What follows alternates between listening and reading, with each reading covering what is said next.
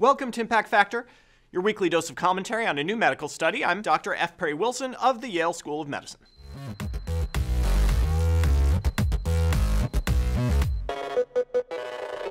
When I counsel patients who are trying to lose weight, there's something I always discuss don't drink calories. The idea is that it's so easy to consume sweetened beverages, and alcoholic ones for that matter, and we don't really get a sense of how many calories we're taking in. Some patients balk at this idea, saying they can't stand the taste of water or just can't bring themselves to drink it.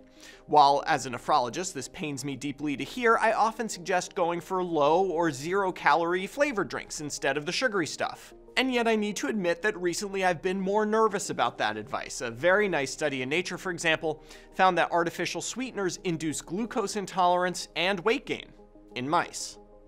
Now, several observational studies have suggested that the use of non nutritive sweeteners, sucralose, aspartame, and so on, are associated with higher body weight and type 2 diabetes. Of course, observational studies in this space are tricky. Are people gaining weight because they're drinking so called diet soda, or are they drinking diet soda because they're gaining weight? Randomized trials, as ever, are the key to deeper understanding, but most trials in this space are relatively small.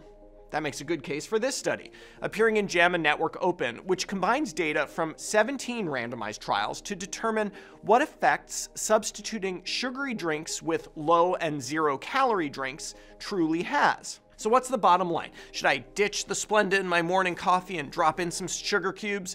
Well, it turns out the effects of drinking low or zero calorie drinks instead of sugary ones is modest, but overall beneficial, depending on the outcome you're trying to achieve. Randomized trials show that switching to low cal drinks reduces body weight by about a kilogram and BMI by 0.3 points. It also reduces body fat by about half a percent.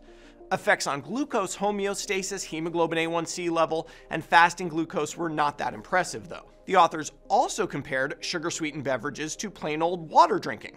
I expected this analysis to show more dramatic benefits. After all, we're all just ugly giant bags of mostly water. Interestingly, the effects of switching to water were not as dramatic and largely non significant with respect to most outcomes evaluated. So, what do we make of this?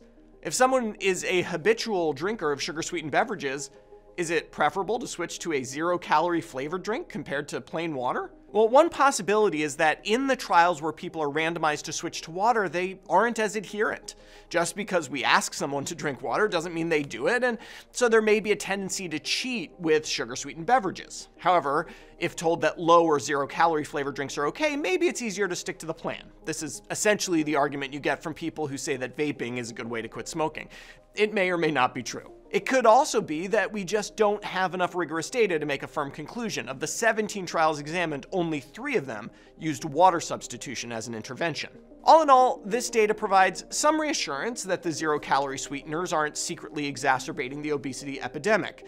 I'd certainly rather my patients drink Diet Coke than regular Coke. That said, these studies are necessarily short term. The longer term effects of sugar substitutes, while perhaps not as bad as the long term effects of sugar, must necessarily be worse than the long term effects of drinking water. Maybe this is the nephrologist in me talking again, but I doubt that there could possibly be a fluid better for the human body than good old H2O, except coffee, of course. For Medscape, I'm Perry Wilson.